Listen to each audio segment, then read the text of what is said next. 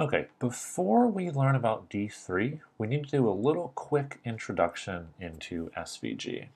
So SVG stands for Scalable Vector Graphics, uh, which makes it the opposite of pixel graphics. So when we talk about pixels, you divide up your space into a little grid, and every single pixel gets a certain color, and then you know you end up having pixels in the shape of a circle or pixels in the shape of a rectangle. That's not what SVG does. Um, the point of SVG is to say we're going to draw a circle over here, we're going to draw a rectangle over here, we're going to draw some other shape over here, and it's a lot like the difference between using Illustrator versus using Photoshop. It doesn't really matter all the specifics of that right now, uh, you'll just see what happens in a moment. So SVG looks a lot like HTML, uh, where in HTML you have these opening tags, you have closing tags. This is the title tag because it's the title. This is an H1 tag because it's a number one header. This is a P tag because it is a paragraph. It's things like that, except instead of being paragraph tags or H1 tags, it's tags that are for things like uh, shapes or things that are like uh, circles or rectangles, stuff like that. So what we are going to do is first off, everything we do in SVG, even though it's going to look just like HTML, we have to put it inside of an SVG tag. If we try to use all of these tags outside of this SVG tag, it's not going to work. In the same way that if we wrote all of this CSS here some random place in our code, it wouldn't work. It has to be inside of a style block. Uh, if we were writing, you know, JavaScript code, it would need to be inside of a code block. So in this case, I gave us an SVG tag, uh, and it's just going to go inside. So the first thing we're going to do, because I you know, threw it in there, is we're going to start with a circle. So if you say circle, it will automatically be completed with the closing tag there. We can save and then we're going to refresh and we don't see anything here. Now, all of the time when you are working with SVG, if something doesn't show up, don't panic, just right click, inspect, and see where that thing might have gone. Because you want to check two things. You want to check that it's actually inside of your uh, code. It's one of the elements inside of your HTML. And you then want to make sure it's in the place that you think it's going to be. So if we open up our SVG here, uh, it turns out that we do have a circle there. It just isn't showing up. And that's because when you have a circle, you need to give it a radius. In order to give it a radius, we use the attribute of r, and I'll just say r equals 100. So the radius of our circle is going to be 100. So I close this because obviously I won't need it anymore. I refresh, and now instead of a circle, I have like a weird quarter of a circle. So I guess I shouldn't have closed that. I'm going to right click and go to inspect. And so yeah, it looks right, circle r equals 100. And then we see that what's actually happening here is I do have a circle, but most of it is off of the page. So the center of the circle is right here, and you can see that this is the only visible part and the rest of it is not visible. The reason it's not visible is because it's outside of the range of the SVG. So right now I'll say, just pretend the SVG is a canvas, which is a hilarious joke if you know anything else about where we're going to be going in the future. Um, but so the SVG is a canvas, and anything that does not show up on the canvas of the SVG, so the other three quarters of our circle, just disappears. So a lot of the time, if you have content that you can't see, it might not be because it's not being drawn. It just so happens it's being drawn up here, or over here, or over on the right, somewhere that's just outside of the bounds of the SVG. So in order to get this circle somewhere where we can see all of it, we need to move it to the right some and down some. You might think, oh, x equals 200, y equals 200, this is going to be perfect, this is going to be great. I can just assume that I'm going to throw in these coordinates. When you refresh though, it doesn't work. The reason why it doesn't work is just because when you're positioning the center of a circle, instead of x and y, you're going to use cx and cy. We're going to save and refresh, and there we go. We have a beautiful circle right in the middle of our SVG. Now the next thing you probably want to do, um, besides change the size of the circle and the position of the circle, is the color of the circle. If you try to do color equals red, it will not work. That's because when you are dealing with vector graphics, in the same way as if you were using Adobe Illustrator, there are actually two different ways to color them. There's the color that's on the inside of the shape and the color that's on the outside of the shape. You call the color on the inside the fill, and the color that goes along the border is called the stroke. So instead of setting a color to red, what we really meant was we want the middle of this to be red. So I'm going to change this to fill equals red. Refresh, wonderful.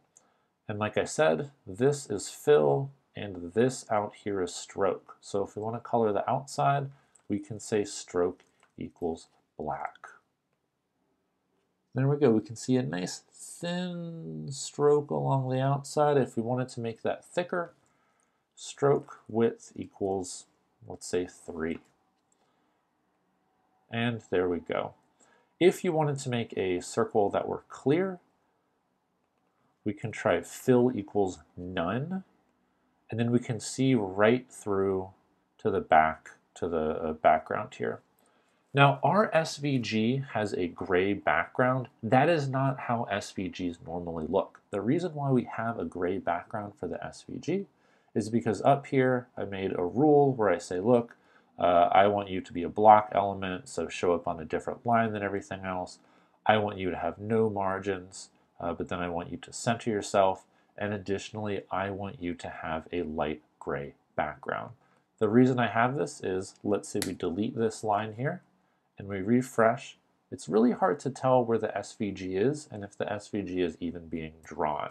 So it's just a good guide to kind of tell where the boundaries of the SVG is until you're ready to publish, in which case you would end up deleting it.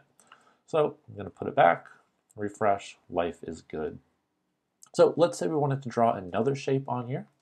Uh, if we wanted to do a rectangle, it is not rectangle uh, as the tag name because even though circle uh, is, I don't know, I guess six letters long, uh, no programmer, you know, we're all lazy. We don't want to type out all the word rectangle, so we're going to type rect. If I save it and I refresh, nothing shows up because think about what a rectangle needs. In the same way that a circle needs a radius, this needs a width and it needs a height. Refresh and save and we see it is shown up here.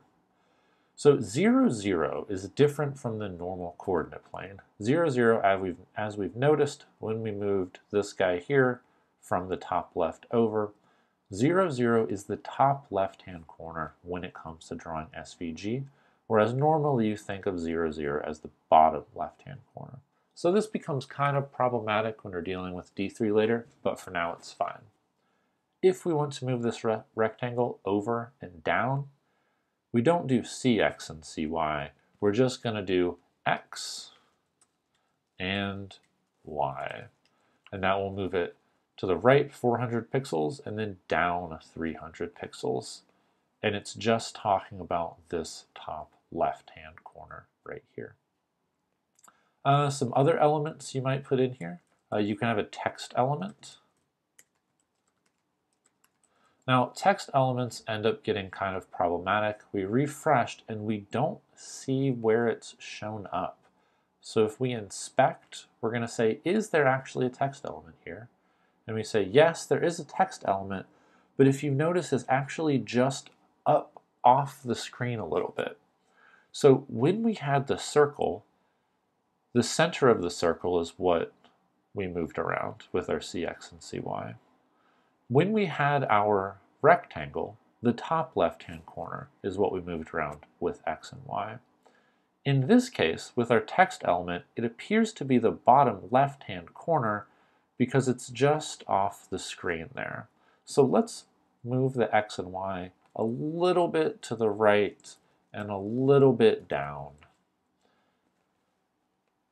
And then it turns out that yes, x and y, we're going to be dealing with the bottom left-hand corner.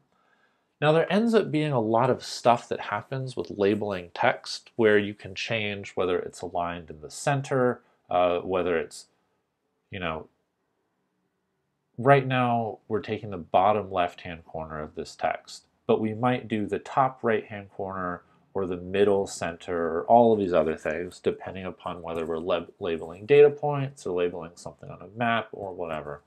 But for now, just know text is an element and you can move it around with X and Y. Um, yeah, so all of these things can be colored with fill and stroke in the same way that we did with this circle. So for example, fill equals red, we'll then fill in this.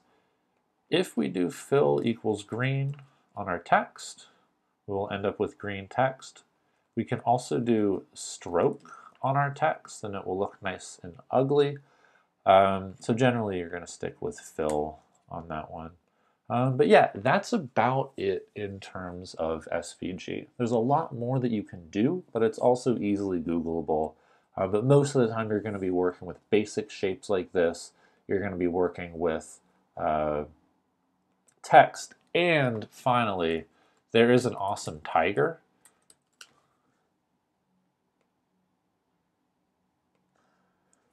So this right here, um, it looks like an image. It looks like a GIF or a PNG or something like this.